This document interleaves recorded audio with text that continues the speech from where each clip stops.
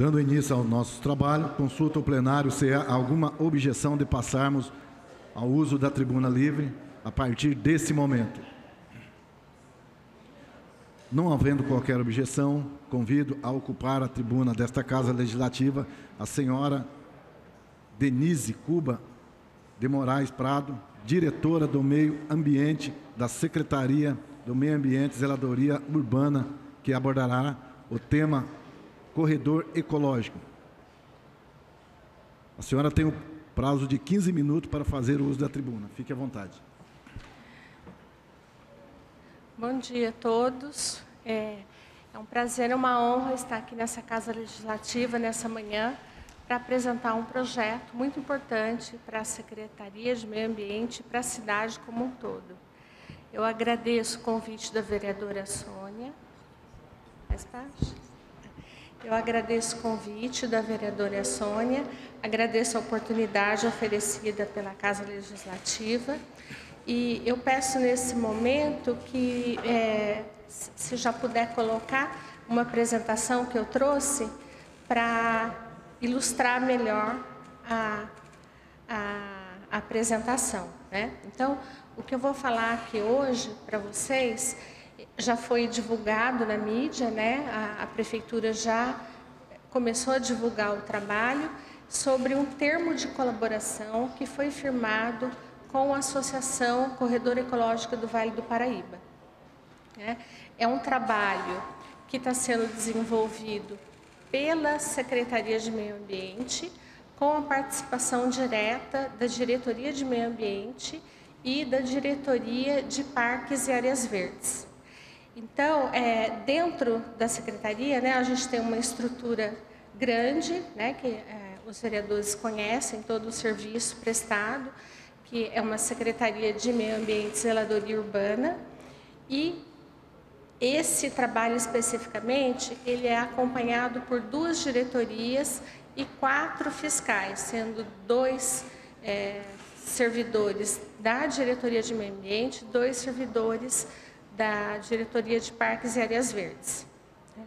É, pode passar, por favor? Então, esse trabalho da que esse contrato, na verdade não é um contrato, é um termo de colaboração, ele foi pensado em uma maneira de resolver o passivo ambiental do município em relação aos termos de compromissos de compensação ambiental relativos às obras públicas.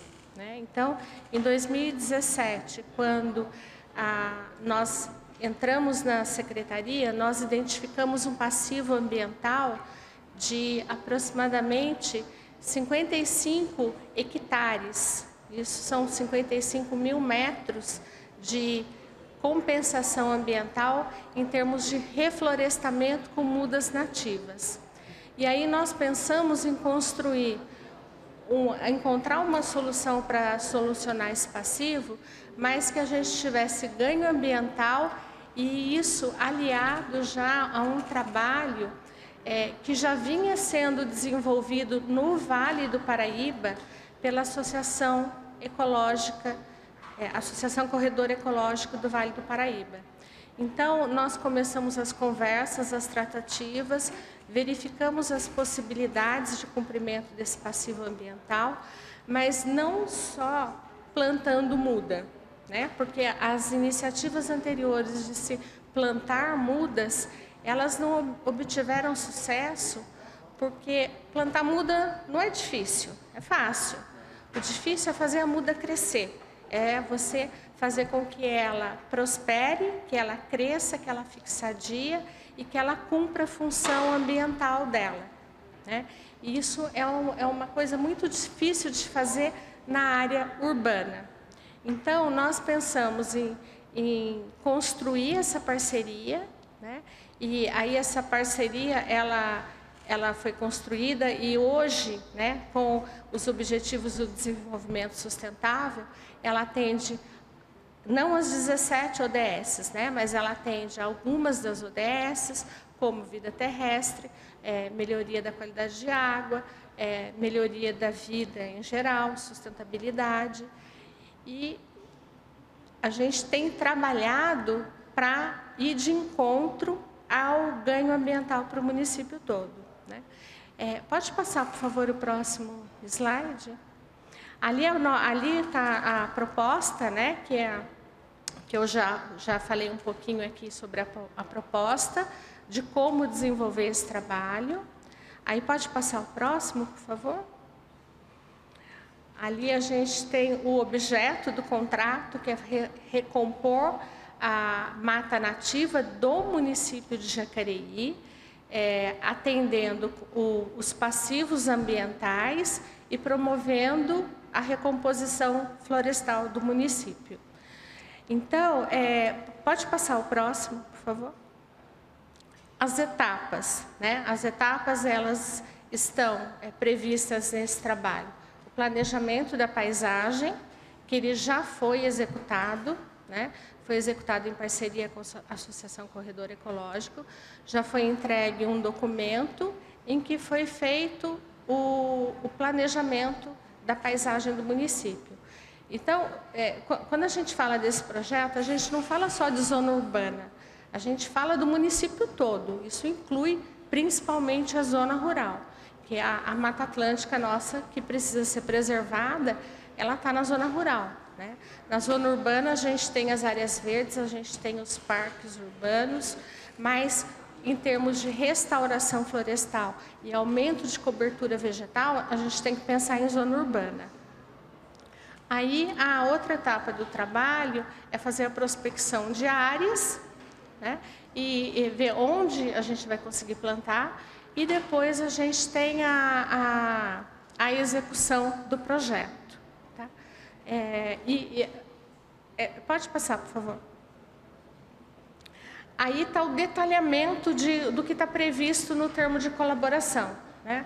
Quando fazer a prospecção das áreas, a equipe do, do corredor ecológico faz o serviço de campo, eles vão visitando as propriedades rurais, eles vão explicando a importância do projeto e tentando trazer o produtor rural para essa consciência e até mesmo para a gente ter aí uma, uma, uma parceria, é, porque o, o, produtor rural ele também precisa recompor a propriedade dele. Né? Ele, é, ele tem uma obrigação legal perante o Código Florestal, que as áreas de reserva legal e as áreas de preservação permanente, que são as margens dos cursos d'água e o raio de 50 metros das nascentes, eles precisam de proteção. E os, os, proprietários rurais, eles têm um prazo para adequação da lei, né, para aderir ao plano de recuperação ambiental previsto na legislação estadual, que é o PRA.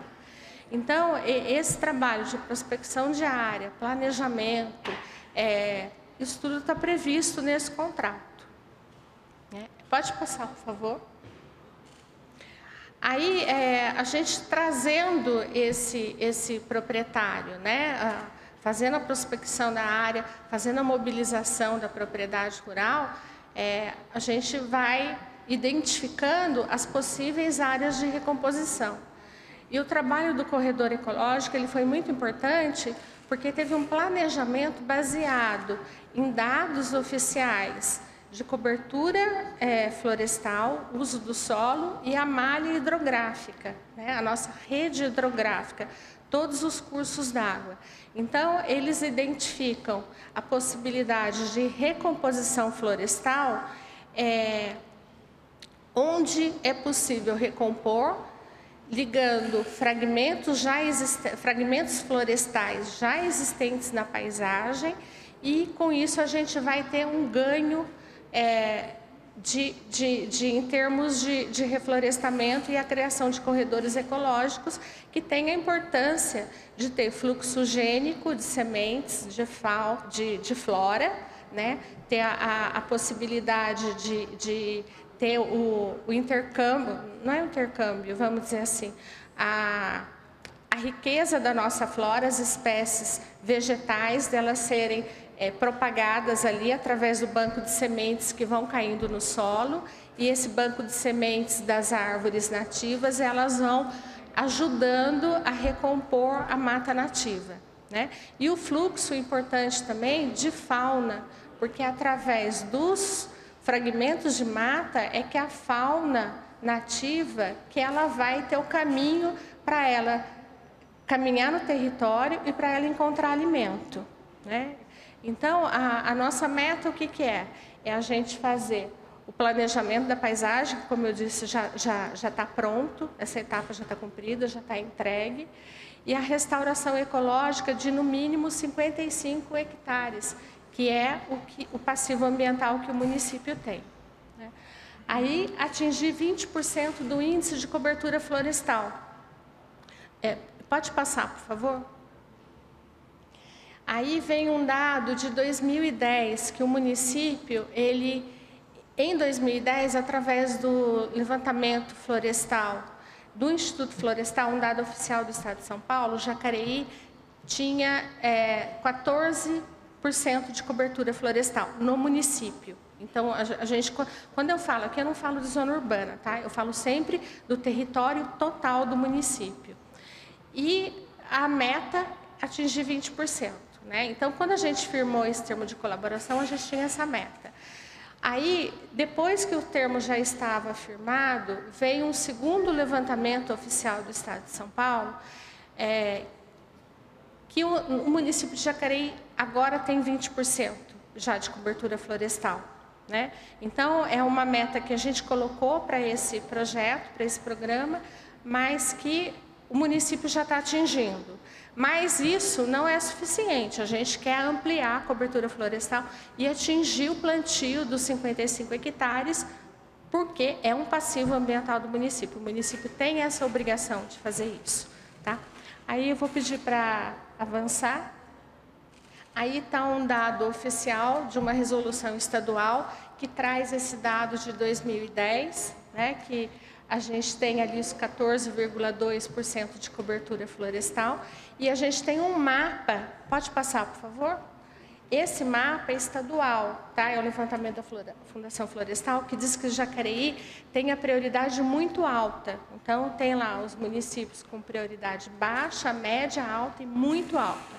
Nós estamos numa região que a gente tem a prioridade muito alta para recompor a Mata Atlântica. Tá? E a gente também tem alguns trechos no município que tem mancha de cerrado, tá? mas assim, mas o predomínio é Mata Atlântica mesmo. Aí o próximo, por favor. Aí o andamento do projeto, né? Como que está? O andamento. A gente já tem 156 hectares de áreas prospectadas. Isso significa que foi feito contato com o produtor rural, foram visitadas 26 propriedades rurais é, e aí as áreas possíveis de serem recuperadas são 156 hectares. 83 hectares estão já mobilizados. Mobi quando a gente fala mobilizado, quer, quer dizer que o proprietário já está em fase de convencimento de dar o termo de anuência e fazer o contrato com a, a Associação Corredor Ecológico para fazer o reflorestamento e 5,76 hectares já estão em processo de recuperação. É, são 8.476 mudas plantadas e já recebendo manutenção. O próximo slide, por favor. Aí é, é, um detalhe de como foi feito o planejamento da paisagem. Né? Foram colhidos dados de uso do solo, é, declividade, a malha hidrográfica, cobertura florestal e remanescente de cobertura florestal.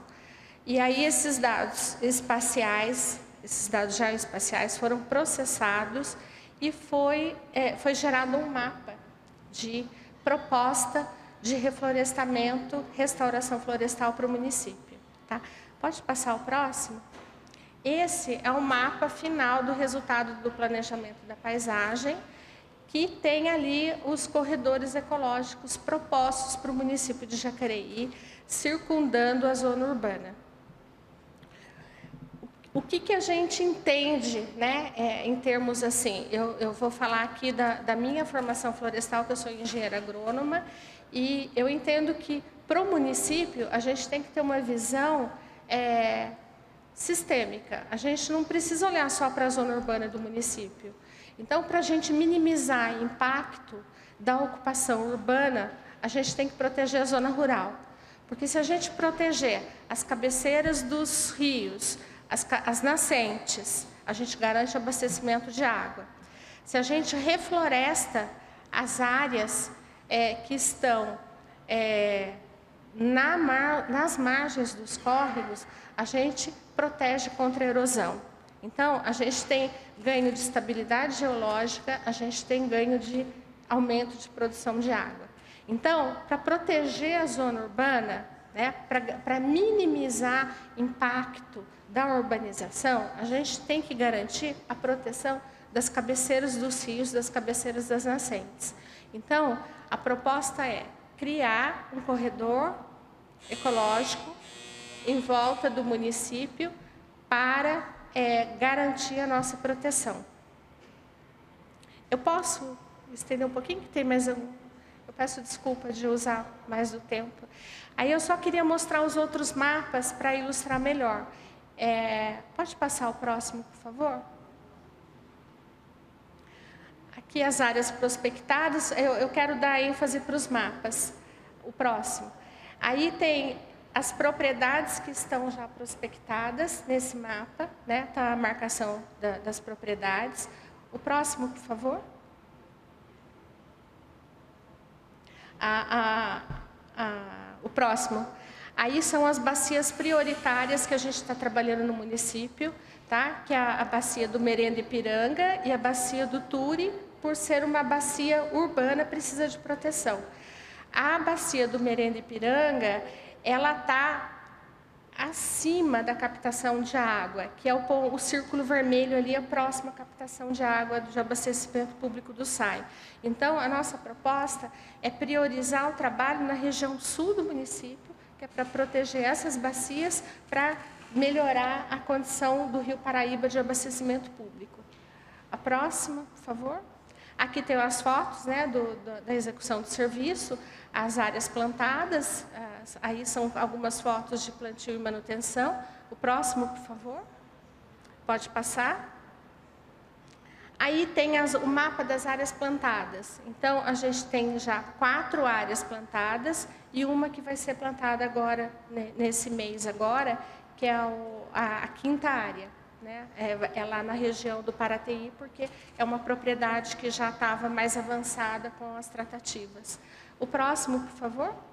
Aqui é o detalhe de como é feito o planejamento dentro da propriedade.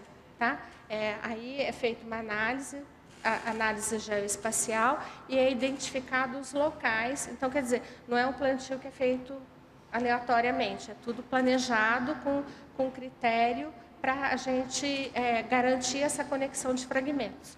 O próximo, por favor. Aí os atores envolvidos, né, que é o município de Jacareí, o SAI, a Associação Corredor Ecológico, a TNC, que faz a parceria junto com a, a Associação Corredor Ecológico, e os proprietários rurais do município, porque sem eles não seria possível a execução desse, desse projeto. Aí o próximo, por favor. Aqui as próximas etapas. Né? A continuidade, o que a gente pretende fazer agora, além da continuidade do plantio, é a gente desenvolver uma política pública de conservação de recursos hídricos através do incentivo aos proprietários rurais, é, fazendo o PSA, que é o Programa de Pagamentos por Serviços Ambientais, te, levando a proposta de remunerar o proprietário rural pelo bem de uso comum que ele produz na sua propriedade, que vai abastecer a zona urbana, que é a produção de água. A gente precisa de água para tudo. Né? E a garantia de produção de água, ela está na zona rural.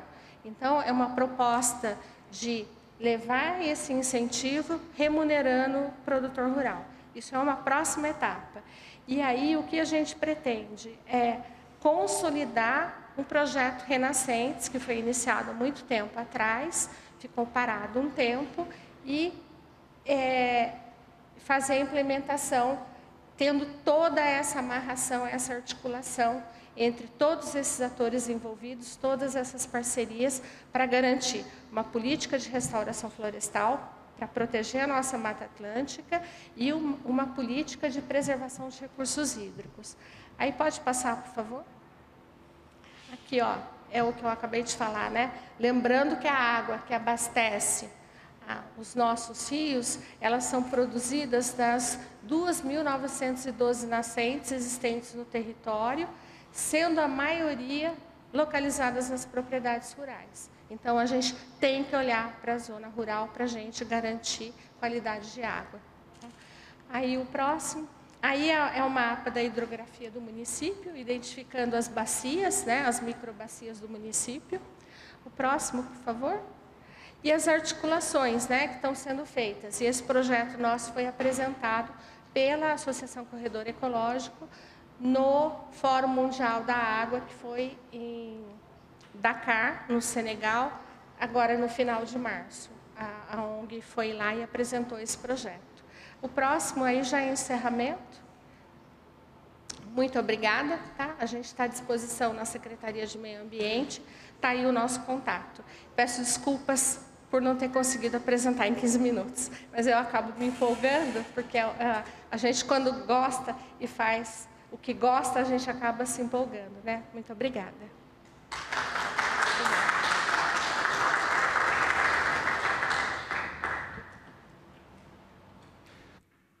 Agradeço a exposição feita pela diretora do Meio Ambiente, Denise Cubas de Moraes do Prado.